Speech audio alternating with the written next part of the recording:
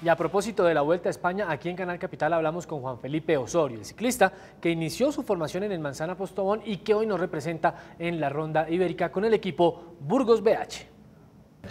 El ciclista Juan Felipe Osorio correrá su segunda vuelta a España, pues tuvo participación en la edición 2017 con el equipo colombiano Manzana Postobón. Llegó a esta vuelta a España creo que muy bien preparado, eh, física y mentalmente, con todas las ganas, la actitud.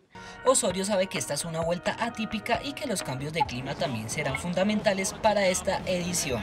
Sabemos que vamos a afrontar una gran vuelta con una climatología eh, dura porque va a ser por el norte y digamos que en este tiempo hace frío y lluvia. El deportista de 25 años tiene metas como integrante de un equipo, pero también tiene objetivos personales, pues la búsqueda de una etapa sería un buen logro individual. Personalmente aspiro a, a estar en la disputa de una de las etapas y bueno, eh, muy contento de estar en esa gran vuelta. En el equipo Burgos BH no hay un capo de escuadra.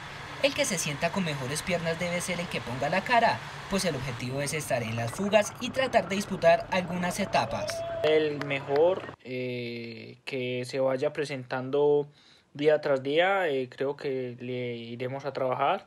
Igual el equipo viene con la meta de hacer de conseguir etapas, entonces creo que nuestro objetivo es estar siempre en las escapadas. Aún sin saber cómo le irá en la vuelta que arrancó hoy, Osorio ya tiene contrato asegurado con el Burgos BH, pues hace dos semanas renovó para la temporada 2021.